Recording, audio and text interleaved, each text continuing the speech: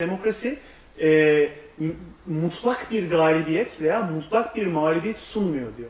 Yani eskiden bir iktidara geldiğinde silah zoruyla veya bir şekilde faşizmde de böyledir. Mutlak galipsindir ve her şeyi uygulayabilirsin ve kimse bir şey yapamaz. Orta çağ boyunca da belki Tabii. ama gerçi orada da. Faşizm de var. Şu an şu anda faşist ülkelerde böyle Tabii, yani. tabii, Ama şu anda yani demokrasi içerisinde galip gelsen bile mutlak galip değilsin çünkü mağlubu koruyan bir aslında demokrasi, azınlığı koruyan. Mağlup sana mutlak mağlup değilsin. Bu çok güzel bir şey. Ama bir taraftan da insanların bu mutlakiyet e, hissini ve psikolojisini doyurmayan bir şey. Şimdi bugün gelen e, popülistler ne diyor? Ben beni seçin mutlak galip yapacağım ben sizi. Yeter artık diyor. Hani bizi dizginledikleri, bizi kontrol et- ettikleri. Bu çok enteresan psikolojik bir noktaya Çok- gidiyor. çok güzel, evet. Bir de senin dediğin şeyi bir okumak istiyorum. Çünkü hakikaten tam olarak e, e, David van Reyburg'un gazetecinin söylediği e, şeyi e, Juncker'e anlatıyor.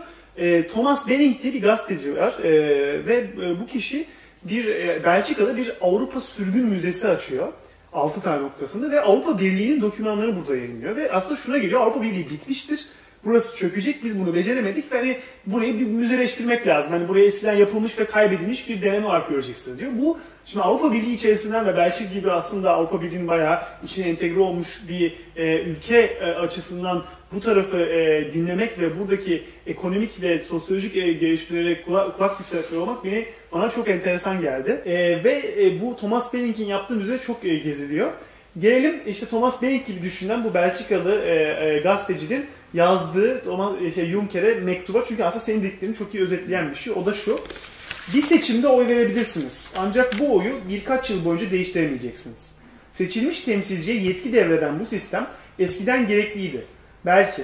Zira iletişim yavaştı ve bilgi sınırlıydı. Ancak bugün vatandaşların birbirleriyle iletişim seviyesiyle tamamen ilintisiz kaldı. Referandumlarda daha iyi yöntemler değil.